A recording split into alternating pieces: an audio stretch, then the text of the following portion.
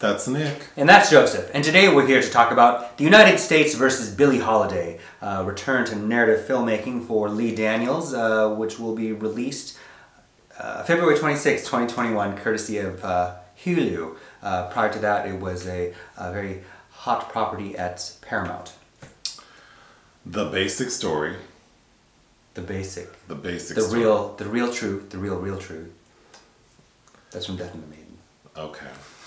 The film opens in 1957 with Billie Holiday, who's played by Andra Day, mm-hmm. being interviewed by a report, like a journalist, Reginald Lord Devine is his name. played by Leslie Jordan. Mm-hmm. And he is asking her a series of questions when he says, you know, what is it like being a colored woman? And she sort of like reacts to that, and then we get a flashback 10 years to 1947. Mm-hmm.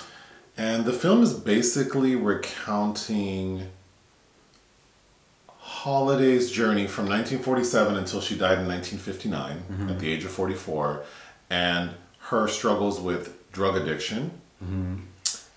and the attack from the from the FBI against her because of her singing the song or pop, popularizing and performing the song "Strange Fruit," which is about lynching. Right. Uh, but under the guise of uh, anti drug laws, uh, the narcotics. So she was vehemently pursued. We see a uh, an agent played by Devonte. Trevante Rhodes. Sorry, Trevante. Say his name again. Trevante Rhodes. You know what I was thinking? DeVante Swing from Jodeci. Sorry. Devane Shrimp. The guy from Moonlight. That's how I know him. And Bird Box. Oh, I don't remember. You know how I remember Mac Miller from Bird Box. He's the one that. Not Mac Miller. Uh, who's engaged to uh Fuck, I can't remember. What? Who's the tall guy I saw at uh, Paramount? Machine Gun Kelly. Machine Gun Kelly. Isn't he in Bird Box? I don't. I. He's in Bird Box. Trevante Rhodes is the one that ends up with Sandra Bullock in that film. You know what? This is a mess, but so is this movie. So, um, I just lost my train of thought. Oh, uh, Trevante plays uh, Jimmy Fletcher. an FBI agent, one of the first black FBI agents, he says. Um, and he is sort of used as a pawn to take down Holiday by basically getting her charged, like with drug, drug charges, which results in her, she's charged, found guilty, and serves a year in prison. A year and a day. A year and a day. Lady Day. When she returns, uh, her cabaret license has been revoked, so she cannot perform in the typical venues she's used to in New York. Um, but she finds ways around it. She goes on tour. She ends up getting having like an affair with this FBI agent because we see him in the beginning saying that he's just doing what's right and he wants to like get rid of drugs on the street. But through his mother's influence, through seeing uh, other people's reactions to what happened, he realizes that he's just a pawn and that we should be applauding an artist like Billie Holiday for not being afraid to speak up. So in his way, he tries to help her by warning her. She still ends up getting in trouble and getting arrested a couple of times. Yeah, but she's framed. Um, but he he provides testimony. Uh, Jimmy Fletcher provides testimony that gets her off, and after that, it's kind of smooth sailing. However, because her drug addiction is um, destroying her, she is not at her prime, and obviously dies at the age of forty four. So she was a wreck. Um, that's cir- it. Cirrhosis. From cirrhosis, but that's it. Yeah, that's a very condensed, uh, an abridged synopsis of this film, which is over two hours. Yes. Would Where like to to begin? start? Okay. you- Do you want to just go through my notes, or do you want? Do you have something to say immediately? No, go ahead. Well, first off, I knew this movie was we were in trouble when we saw we see Leslie Jordan, who is wearing like an Amadeus wig. My note on Leslie, Uh-huh. Leslie's looks, Margaret Rutherford, and you can look up who that is. I'll post a picture.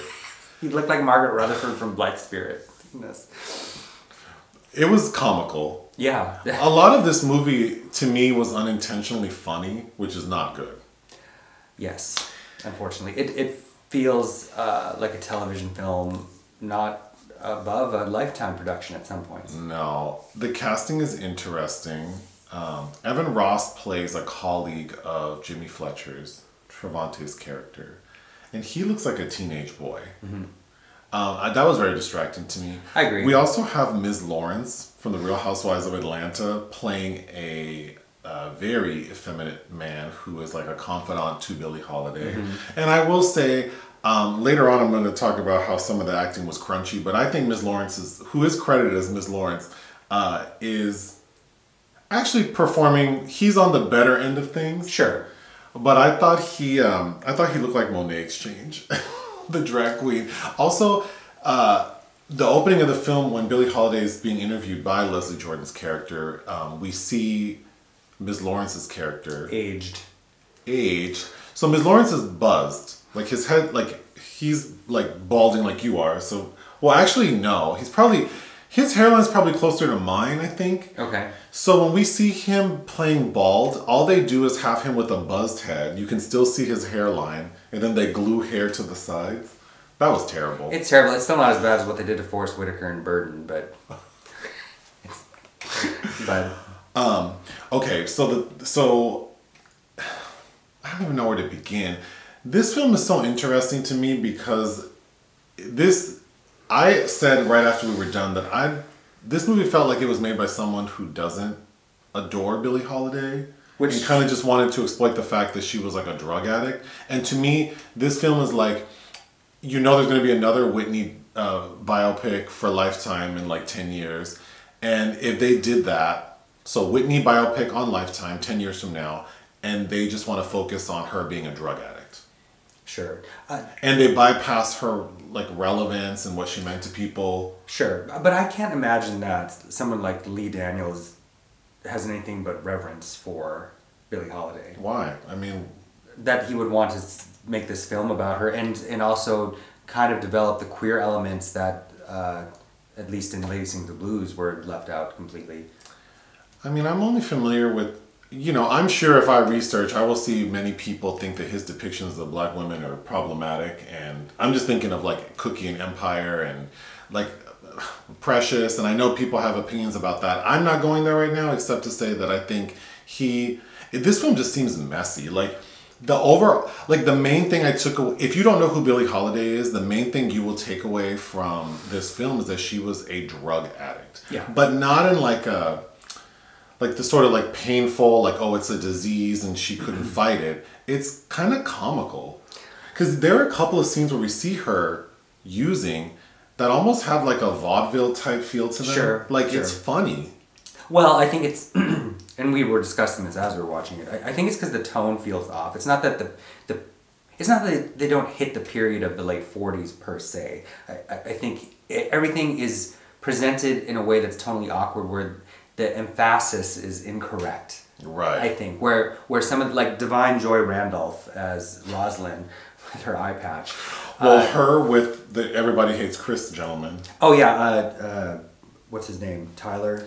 i wrote down that they look like um Tyler James Williams. yeah those, those characters rosalind and lester look like cartoon villains They do. They're almost a little bit Boris and Natasha. Yes, that's what I wanted to say. They there are scenes where because they're especially uh, Lester's character. Well, Rosalind has an eye patch, so she already resembles that uh, Natasha character. But Lester's Lester, he's like mean mugging Billie in some shots. Yeah, and yeah. it's like what what are we doing here? Yes, and I, and I think it's just that we're we're focusing on the wrong things in a lot of those sequences. Speaking of tone, uh, there's a scene where Billie's dog dies. Yes. and we see them at this like m- like funeral kind of like it's in the church so that's not a funeral like a service for the dead uh creature but we don't know that it's a dog so these people they show a picture of the dog. we do but initially we just see billie like go uh crying hysterically and we assume that it's a family member because they say that and then we see the picture of the dog and it's like and then you got Rosalind there with her eye patch crying and it just about how you can't give the dog human food. Um, yes, it, and again, I think that's a good example of where you, you get kind of taken out of the plight of it. Then- oh, and sorry. There's so much focus on strange fruit, uh, which it, this almost it, it feels like the best angle to uh, approach Billie is what they're trying to do, but it should have been I think uh, about the song. I think more than it should Yeah, we it's just all about this song, but then we don't really hear the origin of like the song itself and why she chose to sing it. Like it, it's just like she says, I'm singing this song and it's about this thing. She explains it right in the beginning that it's about lynching and she says to another character because several people say to her, Stop singing the song and your problems will go away. Mm-hmm. And then she's like, Well, have you ever seen a lynching? And that's it. Like she doesn't say she has. We assume she has. But then there's a scene where Billie gets off a tour bus in the middle of nowhere to pee, which starts off kind of comical when she hears like noises and walks through the cornfield like 10 paces. Mm-hmm. And we see a man having been lynched with like a cross burning. And that scene should have been much more effective, but in, in, in a more sort of a mournful and horrific way. But instead, it read kind of Uh, the exploitive. yeah, it didn't hit the way I think it should have. However, after we witnessed her, or after we witnessed the lynching, then Billie, along with J- Jimmy, because during this scene we also see them using heroin, so it's like a dream sequence. I feel like that's the only part of the film that I think the tone made sense to me of what maybe Lee Daniels was trying to do, but uh, it just, on the whole, it feels like a mess. Sure. Yeah.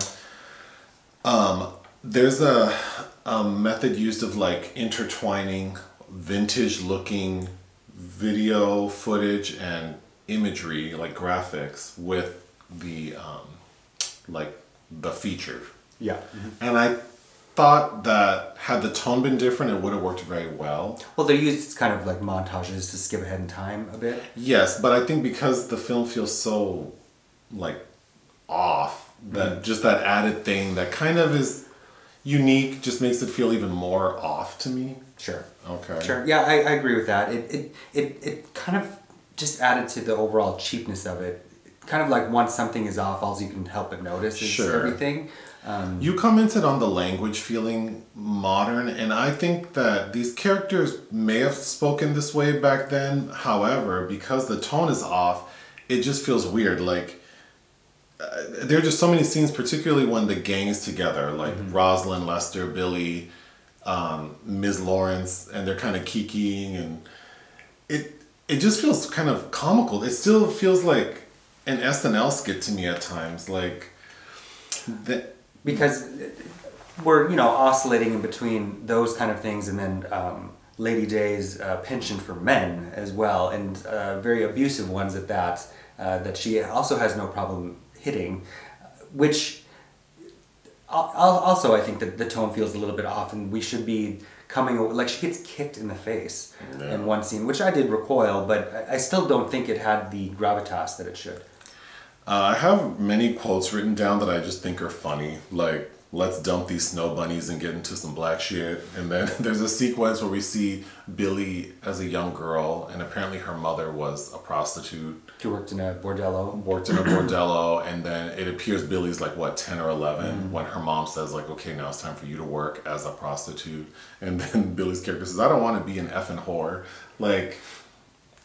But the acting of the like it all the writing the acting for many things felt crunchy to me. I, I think that that world is hard to depict as well because even like I'm a fan of Louis Malle's Pretty Baby with Susan Sarandon and Brooke Shields, but even there are moments in that film when we're talking about sexuality that it, I don't know if it's just the English language or But what about the Richard Pryor movie where we it's like semi autobiographical? Is it Jojo Dancer? Jojo Dancer, Where we Your see Life I is mean Calling? yeah, your life is calling where he like his mom sim- Sure, similar situation sure. and that was much more effective and still had humor to it. sure. So this just was not Yeah, I'm not saying it's not possible. I just Right. think that there's a propensity in the English language where sexuality, it, it's very hard to come across without making us want to laugh or be uncomfortable in the wrong ways. The acting I found most crunchy was the the FBI agent um, Anslinger, who's yeah. played by Garrett Hedlund's, yeah. And I know it's difficult, like, I'm sure as a white actor playing someone who's clearly racist and having to say these words and act this way. but it's not fiction. Like there, like these people exist, and so it just feels kind of like he's playing someone who's hateful. There's no interiority. Also. Yeah, like man, you know what racism is. Like you could have dug in deep. You didn't have to go that far back in your uh, family to get some real racism. I'm sure. So I feel like he wasn't pulling from anything. He's just being like a dick. Yes, they're yeah, they're all all of those characters are very cookie cutter seeming. Which not that I need to see that either. Like I, I really could care less about his interiority, but but also it just comes across as over the top as well. So Trevante, the FBI agent who initially sets up Billie Holiday, now he's sort of been tasked with following her to like set her up again. And that was so the film doesn't explain why it would make sense to have if if I know like law enforcement is after me, shouldn't it be like a more covert thing? But it's very obvious that this agent is following her, and there's one Miss Lawrence's character says like, um, "Why is this black ass? Why does this black ass federal agent keep following us?" And it's like, it, it just didn't make sense to me. from a law enforcement perspective. Right, and you know, perhaps that is what happened. I mean, I know, I'm, I'm sure that is what happened, but the way it plays out just seems like kind of cartoonish. Well, again, I think that's why period is off because we should. I, I think we need to be interpreting that as she's uh, the f- famous uh, a black woman, and they can railroad her as easily as they they can. They, Sure. They, it, it is not going to take much. So I doubt that her or a lawyer representing her is claiming that the same officer is harassing her would have had any kind of impact in the late Sure, 1940s. sure. But it doesn't convey that that is an actual fear either. There's a scene where Billie, because she's on tour and the FBI agent, uh, Jimmy, is like traveling with her and they're like doing drugs, having sex, all that. And there's a scene where he goes out because she knows he's calling his boss to give him updates on Billie. So she's upset, but then she wants him to have sex with her. So she kind of gets like on all fours. And then they start, but then Jimmy wants to like make love. Mm-hmm. That was very awkward. And I kind of felt bad because poor Andra Day had to like do these nude scenes and be shown having sex on screen, and it's not. It, it's not effective. Like I feel like she wasted her nudity on, on this sex scene.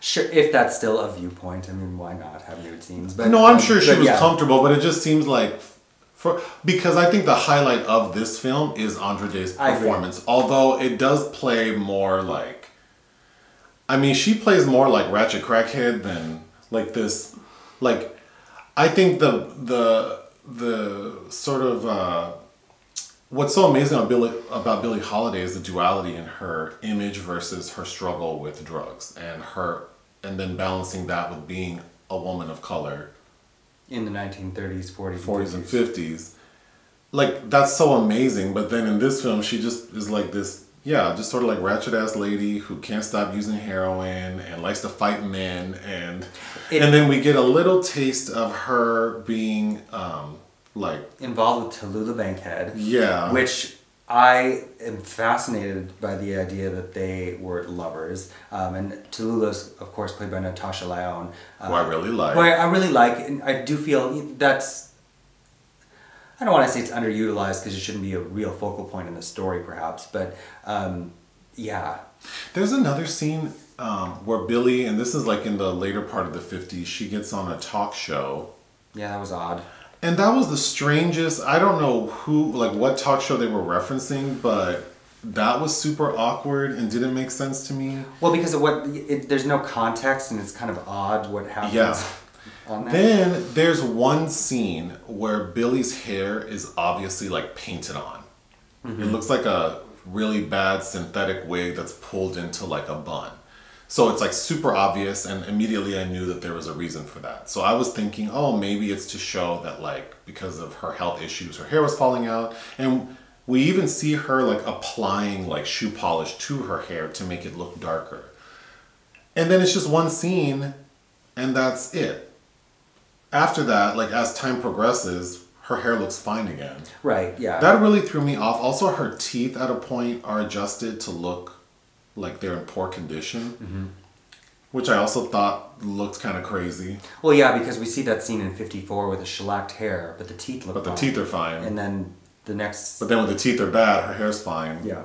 I know that's a little thing, but I think in combination with just sort of Again, I think it's jumbled nature. because the the emphasis is wrong on things. We are drawn to automatically noticing things. I think we would have we would have been um, projected into this universe instead of looking at everything that might be a little off. Well, I feel bad because I didn't want to not like this film, but it did feel tedious. It did feel, like you said, like a lifetime movie, which I generally like, but then, like,